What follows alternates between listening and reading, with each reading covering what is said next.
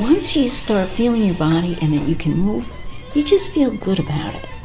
But it's when you're told not to, or you don't look good, or you know, your self esteem goes way down.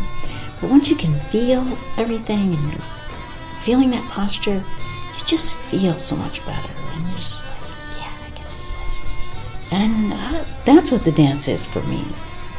I just, when I'm out performing. That's the Romani part. I really, I really like just. And people go, "You, you, you shy." I don't believe that.